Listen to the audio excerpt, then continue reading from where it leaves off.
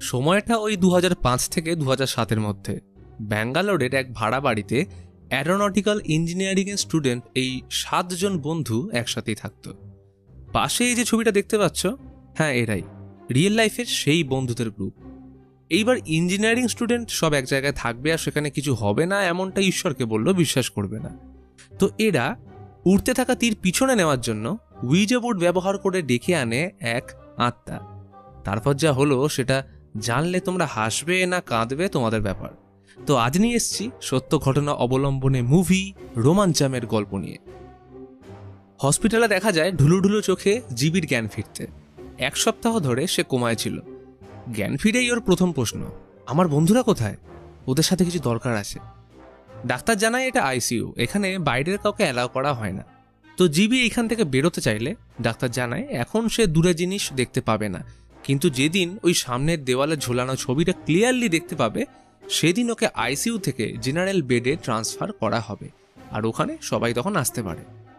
ডাক্তারের সাথে ডিউটিরত নার্স চলে যেতেই নতুন নার্স নেয় না আসলে জিবি ওর থেকে চালাকি করে জেনে ফেলে যে দেওয়ালে ওটা তবলাবাদক জাকির হোসেনের ছবি। পরের দিন ডাক্তার চেক আপে আসলে জিবি বলে, ডাক্তারবাবু, ওটা জাকির হোসেনের ছবি। ডাক্তার তো শুনে অবাক, এত তাড়াতাড়ি এ ঠিক হয়ে গেল কি করে? তখনই পিছনে দাঁড়িয়ে থাকা ন্যায়না সব চালাকি ফাঁস করে দিলে। ডাক্তার পাশের দেওয়ালের আরও একটা ছবি দেখিয়ে, ওটা কার ছবি সেটা জানতে চেয়ে সবাইকে বলে দিয়ে যায় যে কেউ যেন একে ওই ছবির ব্যাপারে না বলে। দিনের পর দিন যায়, অনুমানের পর অনুমান, কিন্তু ও কিছুতেই ছবি দেখতে পায় না।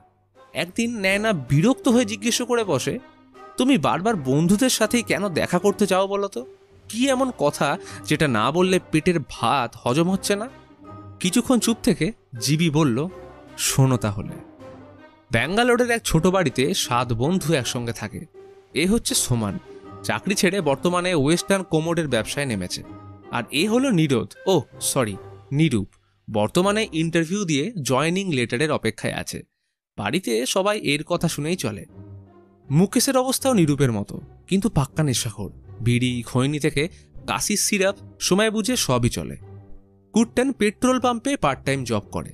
আর সিজেপ্পানের স্বপ্ন ছিল বড় ড্যান্সার হওয়ার, কিন্তু এখন মাল খেয়ে মেশিনের আওয়াজে নাচে। রিভিন গ্রুপের একমাত্র চাঁদের টুকরো, যার কাছে চাকরি আর গার্লফ্রেন্ড দুটোই আছে। সাথে হাইজিনিক ও পুজো আর্চায় বিশ্বাসী, এক কেটে জামাই নাম্বার ওয়ান। আর রইল বাকি জিবি, চাকরির চেষ্টা করতে গিয়ে দিনের শেষে হসপিটালে দেওয়ালে টাঙানো ছবি দেখে সময় কাটাচ্ছে। এদের অগোছালো জীবনকে একটু সোজা করার জন্য নিরূপ সবার জন্য দায়িত্ব দিয়ে রেখেছে। নিরূপ আর কুট্টেন রান্না সামলাবে। সিজেপ্পান আর জিবি পরিষ্কার করবে। রিভিন মান্থলি রেশন আনতে যাবে। সোমান আর মুখেশ বাসন মাজবে। সেই মতো কাজ বুঝে সবাই নিজের দায়িত্ব পালন করতে শুরু করল। কেউ বাড়ি পরিষ্কারের নামে সাবান জল ঢেলে মেঝেতে সাঁতার কাটে, কেউ দোকানে খৈনি কিনে বিল ছিঁড়ে ফেলে মাথায় টুপি পরানোর জন্য, আর কেউ চালায় বাথরুমে হাতের চর্চা। তো দ্রুত কাজ সেরে সবাই সন্ধ্যায় অনুপের বিয়েতে যাওয়ার জন্য ড্রেস পরে নিল। কিন্তু পকেটে নেই টাকা তাতে কি হয়েছে? এরা সব থেকে বড় গিফট দেবে। এই যেমন আমরা অনুষ্ঠান বাড়িতে লোককে বড় গিফট দেখানোর জন্য কাঁচের ডিনার সেট দিয়ে থাকি তেমনই এরা অনুপের বিয়েতে সোমানের ওয়েস্টার্ন কোমোড সুন্দরভাবে প্যাকিং করে দেওয়ার পর, ভাইরে ভাই, সে কি নাচ?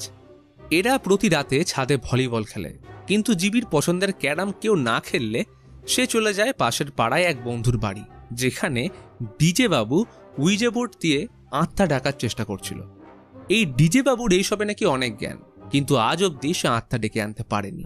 তখনই মন্দিরে পুজো শুরু হলে ডিজে বাবু থেমে যায়, কারণ প্ল্যান চেট করার সময় কোনো ঈশ্বরের নাম করলে আত্মা আসে না। জিবির ব্যাপারটা বেশ ইন্টারেস্টিং লাগলে একদিন ডিজে বাবুর থেকে উইজা বোর্ডের ব্যাপারে জেনে দীপাবলির রাতে সব বন্ধুদের কনভিন্স করে উইজা বোর্ড খেলার জন্য। বোর্ডের মাঝে মোমবাতি জেলে গ্লাস দিয়ে ঢেকে ওটার উপর আঙুল রেখে ওর কথা মতো শুরু করে প্ল্যান চেট আত্মা এলেই গ্লাস জায়গা পরিবর্তন করবে। এই আশায় বেশ কিছুক্ষণ থাকার পর কিছু না হলে সবাই জিবিকে দু চার অক্ষর শুনিয়ে বাজি ফাটাতে চলে যায়। তবে প্ল্যান ফেল হলেও জিবি থামল না। মাথায় এলো দুষ্টু বুদ্ধি। ক্যারাম বোর্ডটা তো এমনি পড়ে আছে। ওটাকে পরিষ্কার করে পাউডার ছড়িয়ে সুন্দর করে তৈরি করল উইজে বোর্ড শুরু হলো আবার কনভিন্স করা। এদিকে নান্টুবাবুর মেয়েকে ঝাড়ি মারার কারণে বাড়িতে এসে সোমানকে থ্রেড দিয়ে গেলে রিভিন নান্টুবাবুকে সাপোর্ট করে বন্ধুদের দু চার অক্ষর শুনিয়ে দেয়। তবে বাড়িতে ঢুকে জিবির কাণ্ড দেখে বলে এইসব কার্টুনগিরি এখানে চলবে না। এগুলো দেখে জেসাস কি ভাববে? নিরূপ গালাগালির বদলা নেওয়ার জন্য বলে হ্যাঁ রে জিবি, আত্মারা জেসাস থাকলে আসে না, তাই না? তাহলে চল, সব ভগবানকে ওর ঘরেই রেখে আসি। আসলে রিভিন কিছু এক্সট্রা টাকা দিয়ে একটা পার্সোনাল রুমে থাকতো। তাই সবাই মিলে জেসাস সাই বাবা ও পূজনীয়দের রিভিনের রুমে রেখে আসে। এইবার ঘর অন্ধকার করে মোমবাতি জ্বালিয়ে শুরু হলো প্ল্যানচেট প্রায় তিরিশ মিনিট ধরে এসব চলার পরেও কিছু না হলে সবাই বোর্ড ছেড়ে উঠতেই যাবে, তখন এই জিবি আস্তে করে চাপ দিয়ে গ্লাসটা নড়িয়ে দেয়। ব্যাস, এক ঝটকায় সবাই গেড়ে বসল। নিরূপ তো অবাক আর কুট্টানের মুখে পারলে একটা রসগোল্লা ঢুকে যায়। জিবি আর চোখে সবার দিকে দেখে মজা নিয়ে বলে, আত্মা, তোমার নাম কি? প্রশ্ন করে গ্লাসটা এগিয়ে দেয় অ্যালফাবেট এর দিকে। কিন্তু গ্লাসটা যে নাগালের বাইরে চলে গেছে, সেটাকে ফিরিয়ে আনতে হলে তো এখন উঠতে হবে। তখনই সিজেপ্পান চোখ মেরে গ্লাসটা ঠেলে দিল। ওর বাঁকা হাসি দেখে জিবি বুঝে যায় এই ব্যাটা ওর সাইডে আছে এক কেড়ে রতনে রতন চেনে। ইশারার খেলায় ঠিক হয়ে গেল আত্মার নাম, অনামিকা। জিনিসটা বেশ ইন্টারেস্টিং হচ্ছে দেখে নিরূপ বলে, আজ একে ফিরে যেতে বল, কাল প্রশ্নের ঝুলি নিয়ে বসবো। সেই মতো হলো কাজ। কিন্তু এর জন্য শুরু হয় আসল টুপি পড়ানো খেলা। প্রতি রাতে প্ল্যানচেটের নামে বন্ধুদের ডেকে তাদের প্রশ্নের মনের মতো উত্তর দিয়ে তার বদলে চানাচুর, বিড়ি ইত্যাদি নেওয়া শুরু হলো। তবে মাঝের মধ্যে কোনো প্রশ্নের উত্তর ভাবতে হলে দুজন মিলে গ্লাসটাকে গোল করে ঘোরাতো। জিজ্ঞেস করলে বলতো, অনামিকার যখন উত্তর দেওয়ার ইচ্ছে হয় না, তখন নাকি ও গ্লাসটা ঘোরায়? এদিকে ডিজে বাবুর কাছে এই খবর গেলে সে কি হিংসে। ও এতদিন ধরে করার পরেও কিছু হলো না, এদিকে এদের দেখো। তবে সেদিন মধু আদি নামের একটা বন্ধুকে নিয়ে আসলে সে পরখ করার জন্য জিজ্ঞেস করে আচ্ছা আমার একটা বিড়াল আছে, ওর নাম কি বলতো? এই প্রশ্নের উত্তর তো এরা কেউ জানে না, তাই সিজাপ্পান চিন্তায় গ্লাস ঘোরাতে শুরু করলে গ্লাসটা আচমকা সরে উত্তর দেয় মার্স। আদি ভয়ে পেয়ে উঠে বসল, এটা কি করে সম্ভব? মার্স তো চার বছর আগে মারা গেছে। সঙ্গে সঙ্গে গ্লাসটা সরে উত্তর দিল, ছ বছর। এতক্ষণে আদি তো দূরের কথা সিজাপ্পনও বুঝতে পারছে না এটা কি হলো। নিরূপ বেশি কথা না বাড়িয়ে অনামিকাকে আজকের মতো ফিরে যেতে বললে সব শান্ত হয়। তবে জিবি আর সিজাপ্পান বুঝে গেছে, তারা মজার ছলে সত্যিকারের অনামিকা নামের কোনো আত্মাকে ডেকে ফেলেছে। তবে এটা ওদের জন্য ছিল ট্রাম কার্ডের মতো, কারণ সন্ধে হলেই বাড়ির বাইরে লম্বা লাইন লাগতো। সবাই যে যার মতো প্রবলেম নিয়ে এসছে। সোনার চেন চোর থেকে শুরু করে কার মদ কে খেয়েছে সাথে গার্লফ্রেন্ড ও বউয়ের সমস্যা। ভিড় বাড়ছে দেখে বসল খাবারের দোকান, যেটা অবশ্য এই সাতজনের জন্য ফ্রি এছাড়াও ঘুষ হিসেবে চলতো চিপস, সিগারেট আর মুখেশের জন্য নেশার জিনিস। তবে কিছু ক্ষেত্রে ওরা লক্ষ্য করত, অনামিকাকে কোনো প্রশ্ন ওরা জিজ্ঞেস না করলেও নিজে থেকে উত্তর দিয়ে ফেলত। এদিকে বাড়ছে ভিড় আর ওদিকে কমছে বাড়িতে ইঁদুরের উৎপাত। পাশের জমিটায় ইঁদুরের কবরে ভরে গেছে। নিরূপকে প্রত্যেকটা ইঁদুরের কবরে ক্রস দিয়ে রাখার কারণ জিজ্ঞেস করলে বলতো, এগুলো দিচ্ছি যাতে ওটা মৃত্যুর পর ফিরে না আসে। এর মাঝে একদিন ডিজে বাবু ওদের সতর্ক করতে আসে যে, একই আত্মা যদি বারবার আসে, তাহলে ওদের উপর প্রভাব পড়বে। সাথে আত্মাকে কোনো পার্সোনাল প্রশ্ন করা যাবে না, সে কেন মরল, কীভাবে মরল, ইত্যাদি। এমনকি গ্লাস থেকে একসাথে হাত সরানো যাবে না। এর ফলে আত্মা ঘর ছেড়ে যায় না। আর যখন আত্মা তোমার আশেপাশে থাকবে, তখন শরীরের লোম দাঁড়িয়ে যাবে। কিন্তু জিবি কিছু না শুনেই ওকে তাড়িয়ে দেয়। এদিকে কানা ঘুষতে এই খবর লোকাল কাউন্সিলর সৈয়দ মোহাম্মদের কানে পৌঁছলে এসে হাজির। শুরু হলো প্রশ্নবান।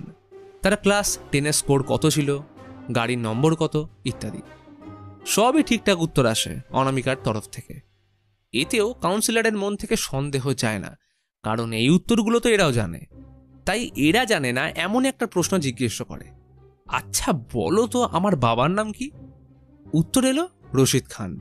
কাউন্সিলর হেসে বলল, যত সব ভুলভাল, আমার বাবার নাম কুঞ্জু মোহাম্মদ। অনামিকা এটা শুনতে গ্লাসটা নোয়ের দিকে এগিয়ে দেয়। কাউন্সিলর রেগে উঠে বলল, রশিদ খান তো আমার চাচা, ও আমার বাবা হলো কি করে? কিন্তু ও যতবার মানা করে, গ্লাস ততবার গিয়ে নোতেই থামে। কাউন্সিলর তো পড়ল মহা ফ্যাসাদে কাঁদো কাঁদো হয়ে বলে, আমি কুঞ্জু মোহাম্মদের ছেলে, রশিদ আমার কাকা। আমি আমার বাবার নাম জানব না এমনটা হয় নাকি? এদিকে এরা তো কোনো রকমে হাসিটা চেপে বসে আছে। এ তো কাকের বাসায় কোকিলের ডিম। কাউন্সিলর অপ্রস্তুত হলে হন্তদন্ত হয়ে বেরিয়ে যায়। তখনই মধু জিজ্ঞেস করে বসল, অনামিকা, তুমি কোথায় থাকতে? বাড়িতে কে আছে? কি করে মরলে? প্রশ্নগুলো শুনে গ্লাস গোল হয়ে ঘুরতে শুরু করলে জিবি ওকে থামিয়ে দেয়। মধু এর জন্য রেগে বাড়ির দিকে রওনা দিলে গ্লাস নড়ে অনামিকা জানায়, আজ রাতে ম্যাথিউ মরবে। কিন্তু কে এই ম্যাথিউ? তখনই মনে পড়ে মধুর ভালো নাম ম্যাথিউ। পরক্ষণে বাইক নিয়ে দৌড়লো ওর পিছনে। দেখে মাঝ রাস্তায় কুকুরের সাথে অ্যাক্সিডেন্ট হয়ে মধু উল্টে পড়ে আছে। আজ রাতে ওকে আর বাড়ি ছাড়লো না। ওদের সাথে এনে রাখল। কিন্তু যেই শুনলো অনামিকা বলেছে ম্যাথিউ আজ মরবে, তখনই আবার ভয় বাড়ি পালিয়ে যায়। তবে রাত কিন্তু এখনও শেষ হয়নি। রিভিন রাতে বাড়ি ফিরলে জানায় আরেক কাণ্ড। কদিন ধরেই নাকি বাড়ি ফেরার রাস্তা ও হারিয়ে ফেলছে। পথে উঠলেই সব স্ট্রিট লাইট নিভে যায় আর কেমন এক গোলক ধাঁধার মতো একই জায়গায় ঘুরপাক খায়। এইসব শুনে জিবি আর সিজেপ্পান ভেবে পায় না মজার জন্য তৈরি করা অনামিকা সত্যি হয়ে গেল কি করে। তবে ঝটকা লাগল সকালে। খবর এসছে, গত রাতে অনুপের বাবা মারা গেছেন, যার নাম ম্যাথিউ। পরের রাতে প্রায় ভোরের দিকে জিবির ঘুম ভাঙলে দেখে বাকিরা উইজা বোর্ড খুলে বসে, কারণ অনামিকা নাকি যেতেই চাইছিল না। আর কি সব অবান্তর সংকেত দিয়ে গেছে, তাই নিরূপ ডিজে বাবুকে ডেকে পাঠিয়েছে এই বিষয়ে হেল্প করার জন্য। জীবিত শুনে রেগে আগুন তার শত্রুকে শেষে কিনা বাড়িতে রাখল এদিকে সুযোগ বুঝে ডিজে বাবু বাড়িতে আসতেই চার আনার খেয়ে আট আনার ভাও দেখানো শুরু করল। তবে প্ল্যান চেট করতেই অনামিকা হাজির হলে ওর তো ভয় শুকিয়ে যায়। কারণ এতদিন যেটাকে ঢপের চপ ভাবছিল সেটা কিনা সত্যি। সবাই বিষয়টা নিয়ে মজা করতে শুরু করলে প্রেস্টিজের কারণে জিজ্ঞেস করে বসল আচ্ছা অনামিকা, তোমায় যতবার এরা যেতে বলেছিল তুমি কি সত্যি গেছো? উত্তর আসে, নো। সে বিগত সাতাশ দিন ধরে এইখানেই আছে। এটা দেখতেই সবাই অবাক। ডিজে বাবু আবার জিজ্ঞেস করল, তুমি কি এদের মারতে চাও? উত্তর আসলো, ইয়েস। এরপর জিবিরা সহ্য হয় না। মারতে মারতে ডিজে বাবুকে বের করে দিলে সে অভিশাপ দিয়ে চলে যায়। ওদিকে একা বসে থাকা কুট্টেন দেখে গ্লাস নড়ে অনামিকা বিক্ষিপ্তভাবে কিছু বোঝাচ্ছে। সে বাম হাতে ডায়েরিতে কোনো রকমের অর্ধেক লিখে রাখলেও এর অর্থ বোঝা যায় না। নিরূপের এইবার ধৈর্যের বাঁধ ভেঙে যায়। এক লাথি মেরে উইজা বোর্ড ভেঙে বলে, আজ থেকে কেউ যদি উইজা বোর্ডের নাম করে, তাকে মেরেই আমি বোর্ড বানিয়ে দেবো। এরপর বেশ কিছুদিন কেটে গেল। আগের মতো কিছুই রইল না। সারাদিন রাত হওয়ার সেই অপেক্ষা, দরজার সামনে ভিড় ফ্রিতে চিপস, সিগারেট, ঘুগনি, সব শেষ। যে গ্লাস দেখলে আগে মদের জায়গায় অনামিকার কথা মাথায় আসতো, সেই গ্লাস আবার ফিরিয়েছে মুখেশের নেশা। এর বেশ কিছুদিন পর জিবি জানায়, ওর গ্রামের বন্ধু সিনু, যাকে কদিন আগে অপহরণ করা হয়েছিল, তাকে পাওয়া গেছে তো বটে, কিন্তু ফিরে আসার পর থেকে কেমন অদ্ভুত আচরণ করছে।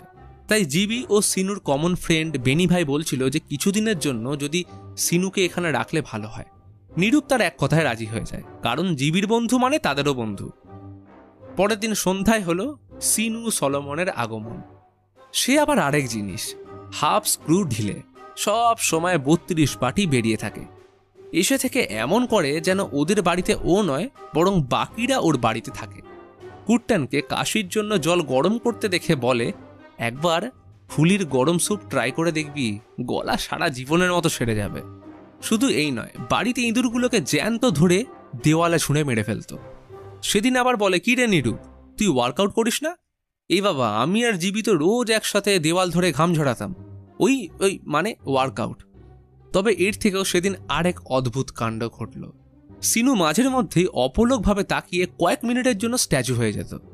যখন সম্বিত ফিরত, কিছুই মনে থাকে না।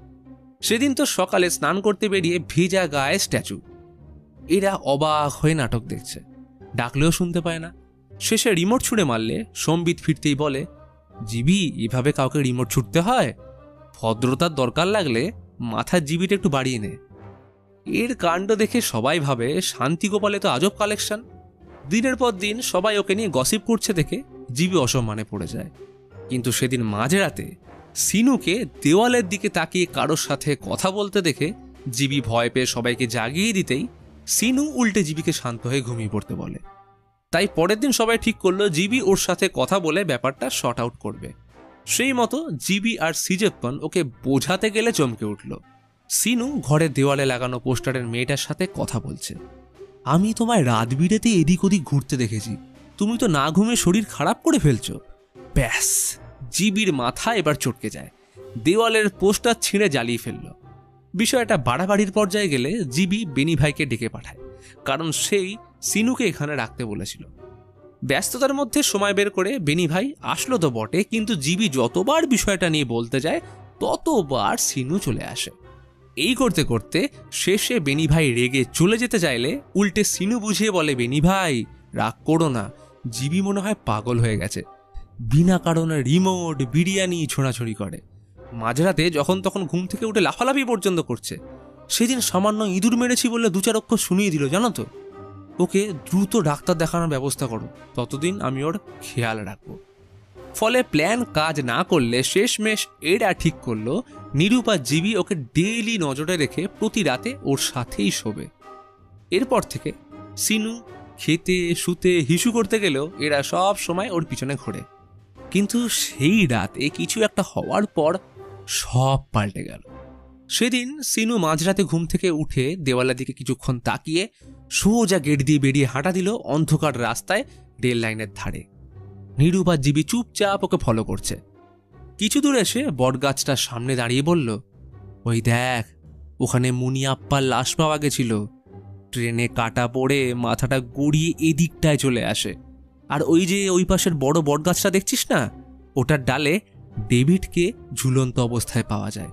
এই জীবটা প্রায় বুক অব্দি ঝুলছিল। আচমকা সিনু ঘুরে ওই দূরের একটা ভাঙা ঘর দেখিয়ে বলে, ওটায় আগে অনামিকা থাকতো আর ওখানেই আমাদের অনামিকা মারা যায়। এটা শুনতে নিরূপের লুঙ্গি আর জিবির হাফ প্যান্ট ভিজে যায়। কারণ সিনু বাড়ি আসার পর থেকে আজ অবধি কেউ অনামিকা নামটা মুখেই আনেনি। কিন্তু এই জানলো কি করে?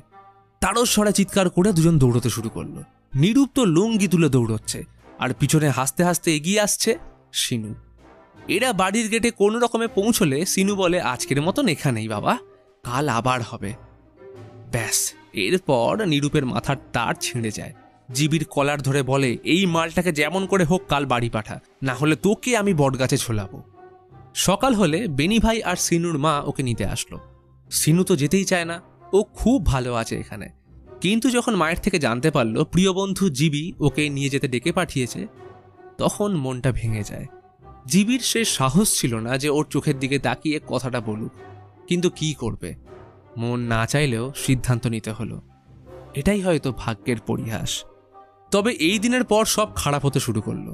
সোমান যাকে ভালোবাসত, তার বিয়ে অন্য কারোর সাথে হয়ে যায়। নিরূপের বাইক যখন তখন পাংচার হয়ে যাচ্ছে। বাকিদের ইন্টারভিউয়ের ডাক আসে না। রিভিন প্রতিদিন রাস্তা ভুলে বাড়ি ফিরতে লেট করে ফেলছে। এদিকে কুট্টান পেট্রোলের জায়গায় গাড়িতে ডিজেল ভরে ফেললে ওর কাজটাও চলে যায়। আর সেদিন রান্না করতে গিয়ে কুকারটাও গেল ফেটে। ডিজে বাবুর অভিশাপ কি সত্যি লাগল? যারা কিনা কোনোদিন এইসব ভূত, তন্ত্রমন্ত্রে বিশ্বাস করতো না তাদের এখন এইসবে বিশ্বাস করতে হবে? জিবির এখনও মনে হয় যে এগুলো তাদের মনের ভুল। তাই সবার সামনে স্বীকার করে সে আর সিজাপ্পান মিলে গ্লাস নাড়িয়ে অনামিকার গল্প ফেঁতেছিল যদি বিশ্বাস না হয়, আয়, তোদের দেখাচ্ছি।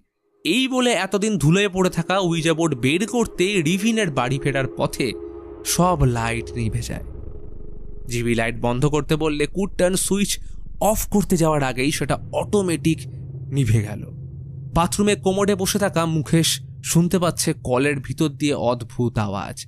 পাশের ঘরে অবাধ্য বাতাসের প্রবেশ করায় জানলাগুলো ধূপ থাপ শব্দ করছে। সিজাপ্পান জানলাগুলো বন্ধ করতেই যাবে, তখনই রুমের দরজা দুম করে বন্ধ হয়ে গেল। নিরূপ দেখল মোমবাতির আলোয় একটা ইঁদুর নিজেই টেবিল থেকে পড়ে মারা যেতে। ব্যাপারগুলো ভালো ঠেকছে না। জিবি জেদের বসে বলল, কতগুলো আত্মা দেখতে চাস বল, দেখাচ্ছি। তখনই সবার নজর জানলার দিকে যেতেই আত্মারাম খাঁচা। এক ঝটকায় শীত দাঁড়াবে নেমে আসলো ঠান্ডা বরফের অনুভূতি। কারণ জানলার ওপরে সত্যিকারের উপস্থিত হয়েছে একটা নয়, বরং একাধিক আত্মা। জিবি খেয়াল না করে গ্লাসে হাত রাখতেই সেটা নিজে থেকে জায়গা পরিবর্তনের সাথে বন বন করে ঘুরিয়ে জানিয়ে দিল, অনামিকা এসে গেছে। তখনই জিবির হাতের লোম দাঁড়িয়ে যায়। মনে পড়ল ডিজে বাবু বলেছিল আত্মা তোমার আশেপাশে থাকলে গায়ের লোম দাঁড়িয়ে যাবে, অর্থাৎ রোমাঞ্চাম এরপর কারও সাহস হলো না থাকার। সবাই রুদ্ধশ্বাসে ঘর থেকে বেরিয়ে আসতেই মুখেশ ও লুঙ্গি তুলে বেরিয়ে আসে। রিভিনো ওদের সামনে দিয়ে বাইকে গোলক ধাঁধার মতো ঘুরে চলেছে। তখনই ঘরের সবকটা মোমবাতি নিভে দরজা সশব্দে বন্ধ। পরের দিন শুদ্ধিকরণের জন্য ডাকা হলো পাদ্রি ও পুরোহিত। সাই বাবা যীশুখ্রিস্ট সবাইকে আবার আগের জায়গায় ফিরিয়ে আনা হলো। কিন্তু সেদিন জিবির এমন বেধম জ্বর আসে যার কারণে আজ সে এখন হসপিটালে। তখনই ন্যানা জিজ্ঞেস করল, তাহলে কি এমন কথা আছে যেটা তুমি বন্ধুদের বলার জন্য পাগল হয়ে উঠছ? জিবি দীর্ঘ নিঃশ্বাস নিয়ে বলল, সেদিন অজ্ঞান হওয়ার আগে আমি সাদা কাপড় পরিহিত বড় আলখোলা চুলে অনামিকাকে দেখেছিলাম। শুদ্ধিকরণের পর সে কোথাও যায়নি, বরং এখনও ওই বাড়িতে আমার হলুদ লাগেজ ব্যাগটায় রয়েছে। আর এটাই আমি ওদের বলতে চাই। কথাটা শুনতেই নেয় না ভয় পেয়ে বলে দেয়, পাশের দেওয়ালে ঝোলানো ওই ছবিটা কৃষ্ণ ঠাকুরের। ব্যাস, এরপরে জিবিকে আইসিইউ থেকে জেনারেল বেডে ট্রান্সফার করলে সবার সাথে দেখা হয়। ওর প্রথম প্রশ্ন ছিল, আমার ব্যাগটা কোথায়? বন্ধুরা জানালো, ব্যাগে চিন্তা করিস না, ওটা বাড়িতে আছে। তখনই জিবির মা বলে আচ্ছা ঠিক আছে, এরা চলে যাক। আর সিনু, তোর সব জামা কাপড় নিয়ে এখানে আসছে তোকে দেখাশোনা করার জন্য। আর তখনই সিনু হলুদ ব্যাগ নিয়ে প্রবেশ করতেই জিবির গলার সাথে ওটাও শুকিয়ে যায়। দেখা যায় বাড়ি ছাড়ার আগে সিনু ওই ডায়েরির অর্ধেক লেখা পূর্ণ করেছে, যেখানে অনামিকা বলতে চেয়েছিল উই আর কামিং আর এই ঘটনার সাথে রোমাঞ্চমের প্রথম পর্ব এইখানেই শেষ হয়। তো কেমন লাগল তোমাদের এই সত্য ঘটনা সেটা অবশ্যই কমেন্টে জানাও, সাথে এটাও জানাও যে এমন অলৌকিক ঘটনা কার কার সাথে হয়েছে। তো আজকের মতন এখানেই দেখা হচ্ছে পরের ভিডিওতে।